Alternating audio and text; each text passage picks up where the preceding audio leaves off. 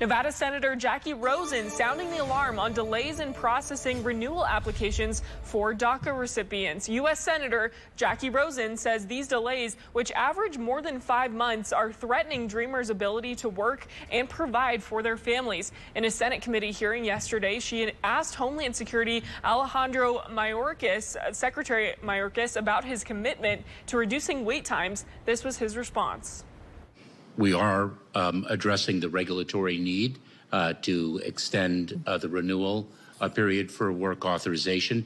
Very importantly, um, U.S. Citizenship and Immigration Services has promulgated a final fee rule that will put the agency back on firm fin financial footing.